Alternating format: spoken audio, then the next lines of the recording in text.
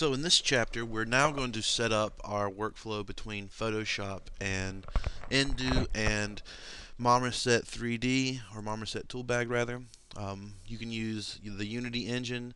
Uh, any real-time preview of your model will work fine. I find Marmoset is really straightforward and it helps you see the results without having to uh, slug through any other um, game engine, uh, I guess, fluff that we may not need just for viewing our models. So with uh, Marmoset opened, I'm just going to open up my mesh. I'm going to go to my video game prop, and I'm going to bring in my OBJ. I immediately see this game model we've created previously. Uh, I don't see any normal seams, no distortion. Everything looks pretty good. And I'm going to quickly go through some of the cooler things that Marmoset can do for us. Um, the file menu is when you it was where you will open up your models and pretty much import them into Marmoset. Output is useful for uh, making turntables or screenshots of your model. Uh, material is where you'll plug in all your textures uh, and tweak specularities and glows, uh, all that good stuff. I'll go uh, through each one of these as it comes up during the workflow. View is really nice because I can set my model on a rotating turntable by tweaking my turntable slider right here so I can get a nice 3D view of my model spinning in place. Ooh, that's nice, isn't it? Uh, I can even pause it by pressing T or clicking this button. I can set this back to zero by pressing clear. I can even get the sky the rotate around. I'll unpause it now. And now we have a nice rotating light source. This is really good for seeing how your normals and your specular maps are working with each other. As the light goes around, the spec maps will really pop and you'll get to see kind of how your object will look with a dynamic light source. Uh, light, as we can see, light rotation is moving and animated in time here. Uh, our sky brightness can do what it says, make the sky brighter or dimmer. And there's a few different uh, lighting presets. I like just to keep it at dawn, but you can do all these different ones. Here's sunlight. It kind of gives your uh, angle of uh, the light a little bit more severe, so we have better angles, uh, more shadows. Um, sunset kind of gives the appearance that uh, it's twilight and the sun setting. So we have kind of a uh, red shift hue of our light source here. But I just like to keep it at dawn. It seems to be the most, uh, uh, I guess, the most basic. It keeps a uh, kind of a blue shifted, really mellow, neutral light source, and still keeps a pretty severe angle so we can see uh, shadows and whatnot. Render, this is where you can set different render options such as depth of field, ambient occlusion. You can turn your shadows on and off. You can actually turn uh, ambient occlusion on, so you have this nice ambient occlusion right here. And we won't be dealing with animate too much. This is for characters mainly with skeletons.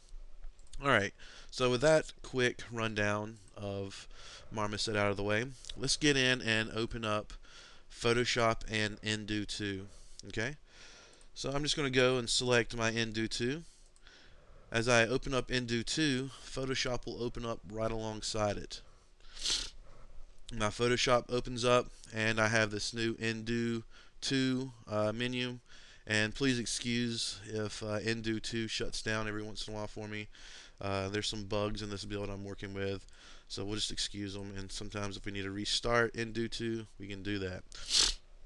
Alright, so in, with nDO 2, we have this new normal map looking box, and we even have this preview cube here. Just left click and drag to move the box, hold down Alt and drag to rotate. You can also hold down or use the mouse wheel to zoom in and out. And this lets you see how your normal map, normal maps are working for you. Alright, great. So what I'm going to do now is I'm just going to minimize nDO and I'm going to open up that texture that I had prepared previously for our model here. Alright, great. So we can see that I have all my uh, folders set up. I have my UV snapshot working. And now we need to set up some basic masks that we can help that that'll help us uh, zone in on various parts of our model. So I'm going to do a few tricks here. So I'm going to hide my normal maps and go into my masks and I'm just going to create a new layer under masks. And this is going to be uh, base mask.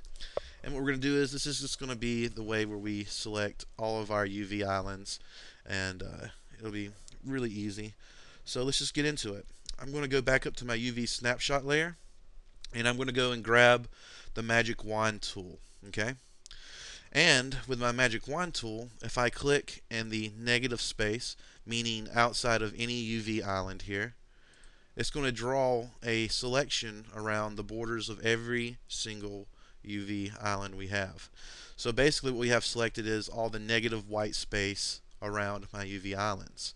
So I'm going to go down to base mask and I'm going to do a fill but before I do my fill, I want to allow myself to have a little bit of buffer between these UV islands. I don't want my mask to be completely on the border edge of my UVs. So we're going to go to select, we're going to go to modify, and we're going to go to contract because right now the mask is selecting the negative space. So if we contract our mask, and we're going to contract it by 8 to 10 pixels, I prefer 8. Now if we hit OK, our mask kind of jumps 8 pixels away from our borders and now we can uh, invert our selection. We'll go to inverse selection and now I'm going to choose a black color in my swatches here. And here's a little shortcut. If I hold down alternate and hit backspace I now fill every single UV island with a black fill. Why is this useful well now anytime I want to select one of my UV islands all I have to do now is hold down control and with a control held I'm going to click this little thumbnail on my base mask and I can get my selections back. I can even hide my base mask layer deselect and if I want to get my my mask selection selections back even with the layer hidden I get my selections back so this is going to give us a nice fine degree of control for painting just on my UV islands here. Um, I like to take it a step further and color code my mask for each single part of my mesh. That way, I can, can I get I can kind of get a cleaner bearing on what parts of the model belong where. Um, so I'm going to create some new layers, and the first layer I'm going to make, I'm going to re rename this and call this front and with front uh, made, I'm now going to go back into my base mask. I'm going to deselect. There's reselect and deselect. I like to use Control D as shortcuts for selections. And I'm going to go back to my magic wand tool and I'm going to select this front uh, UV island here because I know that this UV island is the front of my wall, my main part of my wall. So now I'm going to hop back to front. I'm going to hide my base mask. So on my front layer, I'm going to pick the color red and hold alternate and press backspace. And now I have just a color-coded red uh, fill for just my front layer or for my front UV island. And I'm going to do this for every single uh, island here. Uh, I'll do it one more time and then I'll pause it and do all the dirty work so you don't have to sit through and watch me do this. So again, I'm going to hide my front layer and I'm going to bring back my base mask right here. And this time I'm going to uh, select my uh, right the right side of my wall here. I'm going to select this wall right here. Alright? So now I'm going to control D to deselect. With my magic wand selected I'm going to select this UV island. I'm going to hide. And in my layer new layer one I've created I'm going to select the yellow color hold down alternate and hit backspace that automatically fills that selection with yellow and I'll rename this uh, right wall and now I have a layer dedicated just to the right wall on my uh, UV islands here. So I'm going to pause it real quick and finish making all these uh, color-coded islands. Be right back. So I'm going to come down to my last uh, UV island mask I'm going to do and I'm going to show how we can select multiple uh, UV islands and give them the same mask color. I want to mask off the insides of my wall here so the inside surfaces of my window, rather. So I'm going to select my base mask and I'm going to magic wand click one of these UV islands.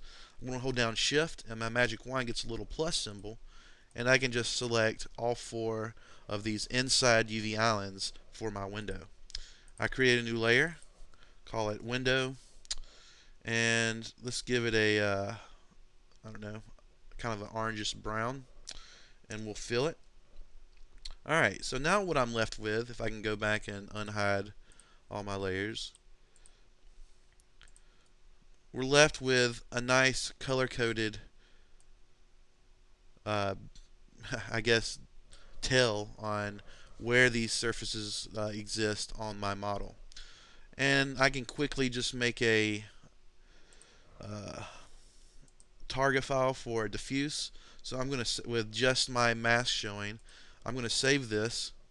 Uh, this will be a temporary texture to show you exactly what's going on here. And I like to save them in bitmaps for uh, Marmoset. I don't think Marmoset likes. Yeah, can, no, you can do Targa. I think I'll do. You know what? I'm going to go bitmap just to be safe. Uh, I think Marmoset likes working with bitmaps. Well, we'll just check. Let's see. I'll go to my material. I will open up diffuse supported images. Actually, Targa is the way to go. Supported image types for Marmoset, uh, Targas, DDSs, uh, PSDs. Really, the only two file types I use in this list are Targas and PSDs. So I'm just going to keep it in Targa. I don't want to mess with PSDs too much. They have too much overhead. The file sizes are a little bit too big. So I'm going to go back in here and save this temporary diffuse color map as a targa. I'll just save it right on my desktop. And we'll call this color key. And I'll save it. So let's go back into Marmoset. I'll go to my diffuse button here. And I'll go to my desktop.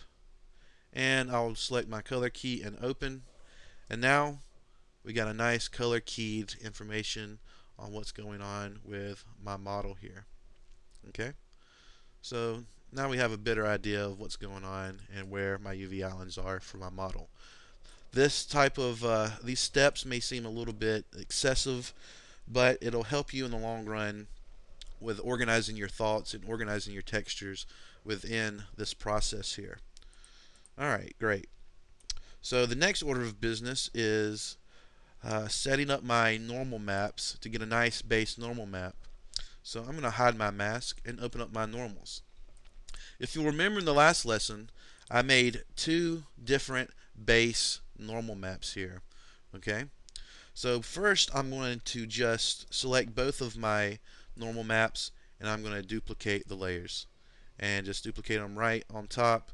We're not going to copy them into another uh, document. We're just going to do them right on top. I don't ever like to destroy my base original uh, normal maps. In fact, I'm going to go ahead and lock them and hide them so I can always come back to my base and they will never be destroyed.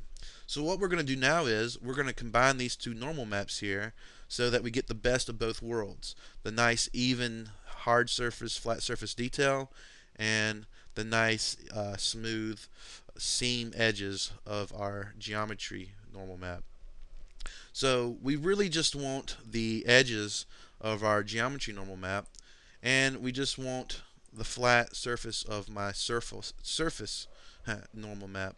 So what we got to do is we got to go in and kind of uh, feather out and delete the edges of my surface normal map. So what we can do is I can go up to my mask layer, control and click the thumbnail of my base mask. So if I zoom in now and open up my UV snapshot, I see that I have a nice outline selection of all my UV islands. Now it's just a simple matter of using a feather tool to come in and delete the outside edges of my uh, normal surface map. So first I'm going to go in and go to select modify and I'm going to contract this map by let's say 16 pixels. What that's going to do is it's going to bring in my selection on the inside the inside of my UV islands rather than the outside. I can now go to select, refine edge and we're just going to add a nice feather here because we want a nice seamless transition between our two normal maps. So I get a nice feathered edge on my selection here. That's too much. That'll work nicely. And what we're going to do now is we're going to let's see what happens if we just delete. Pay attention to our nice crisp uh, recessed panels right here that we want to keep. If we hit delete now, they go away and the underlying geometry map stays clear. We wanted what we really wanted to do was inverse our selection. All right. Now if we hit delete, we get to keep our nice surface right here. And if we hide our geometry base map, I can see that I have a nice feathered edge around here, deleting all the normals along the edge. And if I bring back my geometry normal map, and then unhide my surface, we get the best of both worlds. We get to keep our flat surface detail and we get to keep our nice base geometry edges here. So now I'm just going to select both normal maps, hit Control and E and flatten them together and now I have a really nice base normal map with my edges, seams, the edges of my seams really nice and smoothed out and my flat surface detail undistorted. So we'll just call this base normal. And we'll lock that too. We don't want to ever touch this normal map. This is going to be our guide to the heavens. Alright, now this would be a good time now to uh, export out a nice test normal map that we can plug into Marmoset. Alright, great. Well, let me come back out one more time. So what we're going to do is we're going to go to File, Save As, and I'm just going to create a temporary targa for my normal. We'll call this temp normal. Hit save. Resolution at 24 will be fine. And we're going to go in and select normal height map. And we're going to select my temporary normal. And now my normal map is plugged into my object here. I get these nice mellowed out uh, normals on my edges here and I get a nice mellowed out surface detail with no distortion right here. So let's go to view and let's turn on my sky turntable. Look how the normal maps are working now. We can see as my light source rotates around my model, my normal maps are just popping off the surface of my uh, wall here. So really good uh, setup so far. We got a nice color coded uh, setup. We got a nice uh, blend of our two base normal maps working for us. So I'm pretty happy about this right now. Alright, so before we start getting dirty and making masks to uh, create normal maps, I'm going to set up a really nice system that we can use for updating our progress when we're making our color maps, our spec maps, and normal maps. So, in Photoshop, what we're going to do now is we're going to create base layers for each of our groups right here. So mask will not be used, our UV snapshot won't be used. What we want to do are create base uh, textures for each one of these groups right here. So in normal map, I want to create a nice base layer and put it at the very bottom. Alright, I'm going to hide my normal map, but before I do that, let's grab our eyedropper here and find some nice negative space here. I want the purest blue we can get from this normal map. And it looks like anything outside of my UV islands is the base blue, meaning that when light hits this uh, surface on the normal map, it will be projected as flat. There will not be any detail. This is the basic blue color of our normal map. So I'm just going to grab my eyedropper here and soak up that color information. Now I'm going to hide my normal map. I'm going to go to layer 1 and call this base and hit alternate and backspace.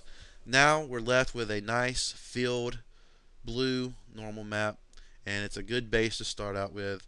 And I can reactivate my base normal. It might seem a little bit redundant, but it's always good to have backups in the tow. So now we're going to go to my AO, and we're going to create a base for my ambient occlusion uh, group. And for right now, let's just pick a mellow gray. And we'll just plug in, uh, let's just pick like an off-white. I don't want it to be too dark. So with my AO selected, I have a nice base. And let's go ahead and set my AO group as a multiply. Because my AO is just going to accentuate my color map by offering a monochromatic values that signify self self shading shadows. I guess that's the best way to describe that. So you'll understand more when we get into that process. So I'm going to go to color now and I'm going to create a nice base for my color. So this will be kind of a uh, grayish, but it's always a good idea when you're texturing something to pick a main key color. For my wall here, I kind of want it to be a, uh, let's think, kind of a dirty, warm uh, gray here. So I can go to color here and increase my red. If I do a fill, I may be increasing it a little too much. I have a nice warm gray here that I'm going to use as my base color because I'm going to lean towards more warm colors when I'm making my color map here. So with my base selected, I can hide that. For specular, I'm going to create a base specular. And what we're going to do for specular is, for right now, we're going to pick a darker gray, and we can always come back and change that base. And we're just going to make a nice dark base for my specular. And for glow, the base for glow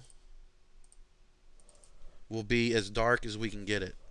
Uh, I don't like to pick very, very black because in most applications you see black or magenta will usually be your transparency color.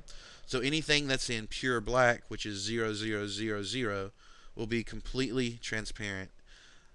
I like to make this 1, 1, 1 for my glow map. So it's not transparent, but it's not going to do any harm for my glow map. Basically, glow maps, they uh, create a type of, uh, I guess, glow, you could say, or an incandescence that it, that makes the object look like it's emanating light. And it works like this. The darker the color, the less glow. The lighter or brighter the color, the more glow you're going to have. So it's always a good idea to start out with no glow and then add glow on top of it later. Alright, so now I got a good basis and base layers for all of my maps here. And what we're going to do now is we're going to create a macro that saves out each one of these layers. So all we have to do is press a hotkey and it saves out each of our groups here and automatically plugs it into Marmoset. So when you're making any changes on your model uh, and on your textures, you hit one key and instead of having to go to File, Save As a million times, when you hit your hotkey of our macro, it'll just update all these channels here and Marmoset will automatically update. So let's see if I can remember how we can do this. So go to Window. We're going to go to Actions. And it's going to bring up my action dialog here. And I'm to expand it a little bit. What we're going to do now is we have default actions. Let's make a new set called Custom. And we're going to make a new action here create new action. And all this does is it records every action you make until you press stop. So I make this new action. We'll call this mass save.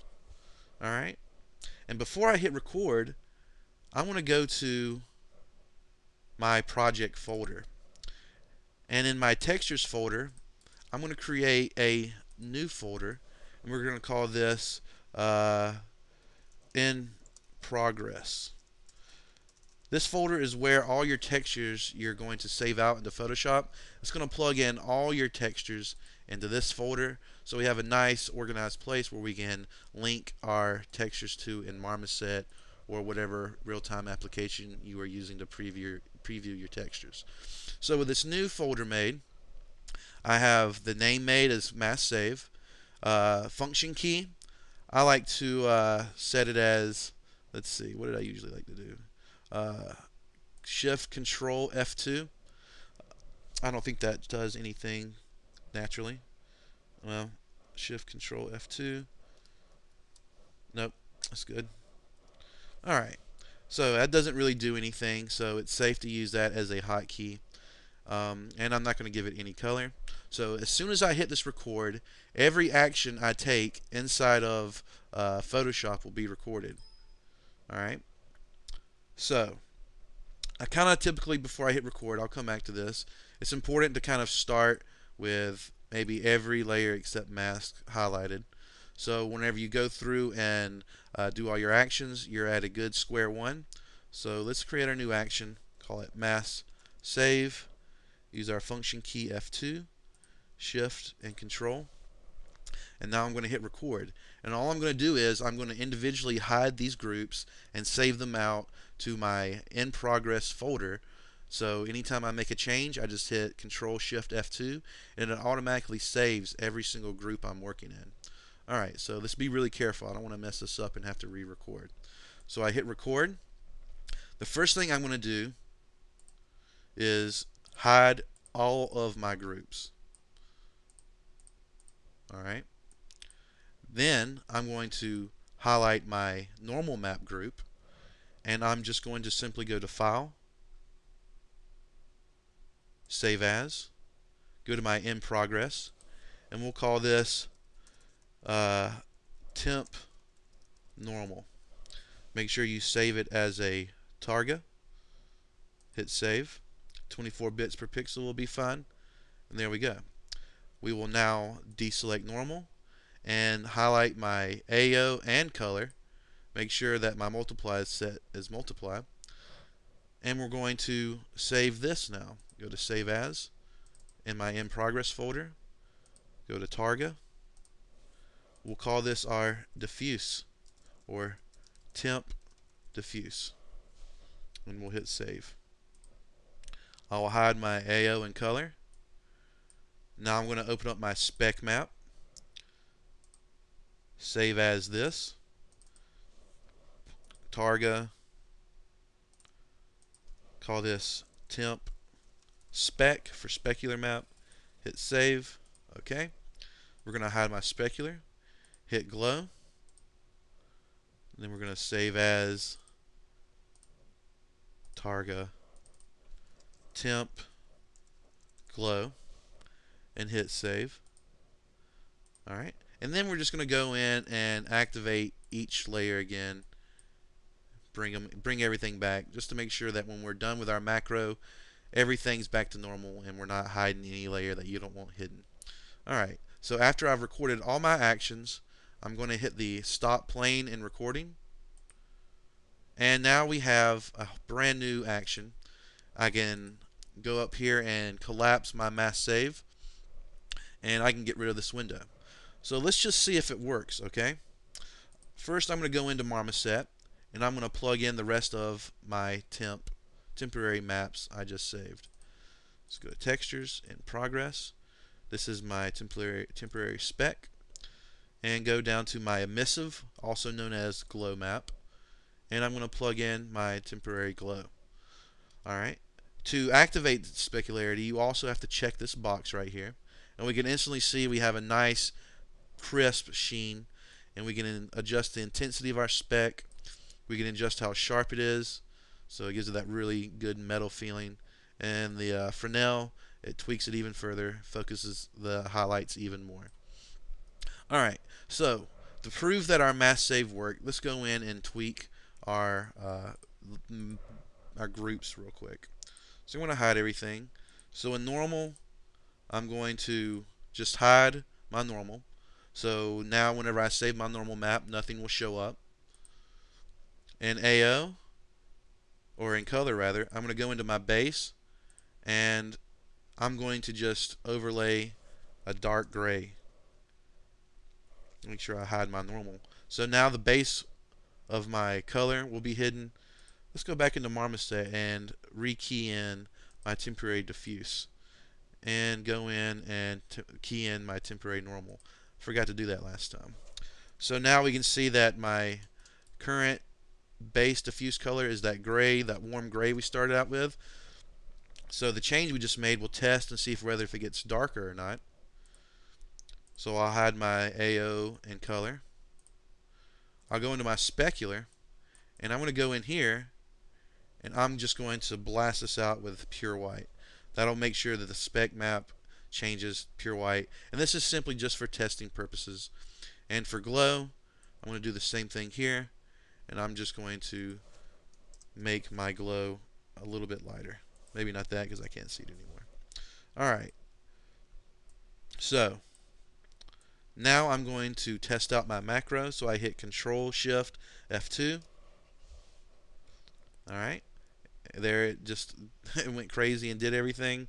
So let's go into Marmoset now. And it looks like everything's good. Uh, my normal map doesn't exist anymore because I hit it. Turn off my specularity for a second. My color seems to be really bright. And my emissive, let's see. Where do we, we got to activate emissive. It's somewhere on here. Here we go. Emissive map intensity. It looks like my emissive is really good. And it looks like my mass save works. So now anytime I make a change inside of Photoshop, I hit Control Shift F2 and all my textures will now update in Marmoset because I have temp diffuse, temp normal, temp spec, and temp glow all plugged in. So that's some that's just some basic setup for getting our nDO and Photoshop and Marmoset workflow set up so we can get in and just bang out some nice textures. Alright, well, next chapter we're going to get into the actual process of making normals in Photoshop and converting them in nDO. I'll see you then.